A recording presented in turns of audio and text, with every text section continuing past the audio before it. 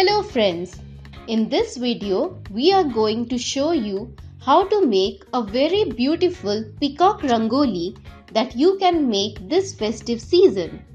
Hope you will love and enjoy making this easy and creative rangoli.